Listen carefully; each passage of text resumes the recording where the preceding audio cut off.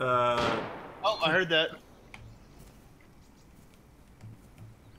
Zombies, man. Laying on top of the rock on the hill? yeah. Uh, I dropped him. I dropped him.